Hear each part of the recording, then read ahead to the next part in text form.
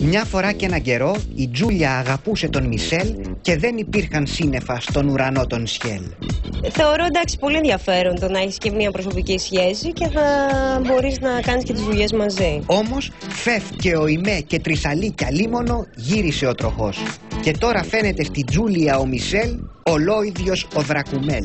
Μόλις χώρισα και είμαι πιο ελεύθερη και πιο μόνη από ποτέ. Γιατί χωρίσατε με τον Μιχάλη; Με ζήλευε αφόρητα. Δεν μπορούσα ούτε να ξεμητήσω από το σπίτι.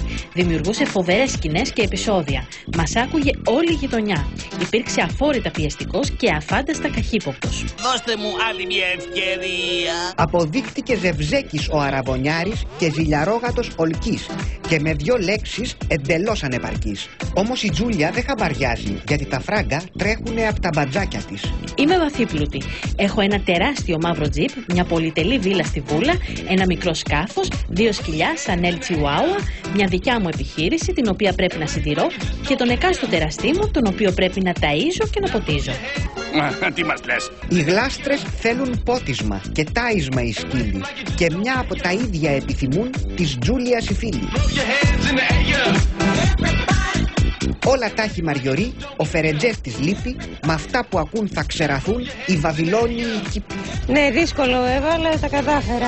Κοιτάξτε προσεκτικά. Ούτε εδώ έχω κάτι. Ωραίο περιτύλιγμα και μια λουδάκι γιοκ. Αυτή δεν είναι άνθρωπος, είναι θαρό μπρελόκ. Έχεις φαντασία στο σεξ; Καθόλου. Είμαι πολύ όμορφη για να έχω φαντασία και να σκέφτομαι. Άσε να κάνουν κάτι και οι άλλοι. Τι μας λες βρε Τζούλια, μου φαίνεται ότι το μπρελοκάκι σήκωσε ψηλά τον αμανέ και ο εγκέφαλός του έφυγε σε θερινή τουρνέ. Ακούστε τι πήγε και είπε η Δεσποινής Αλεξανδράτου στο Esquire. Σου την έχει πέσει ποτέ φίλο σου. Συνήθως δεν τολμούν να το κάνουν. Όταν συμβεί όμως, κάνω πως δεν καταλαβαίνω και το αντιμετωπίζω σαν πλάκα. Κάποιοι κακιώνουν. Πολύ πρόσφατα συνέβη με κάποιον πρώην συνεργάτη μου. Ποιον να εννοεί άραγε η Τζούλια; Υποψιάζεστε κάποιον εσείς; Εγώ πάντως διαπιστώνω ότι έχει άγριες διαθέσεις η κυρία και περιμένω την απάντηση από τη Ρία.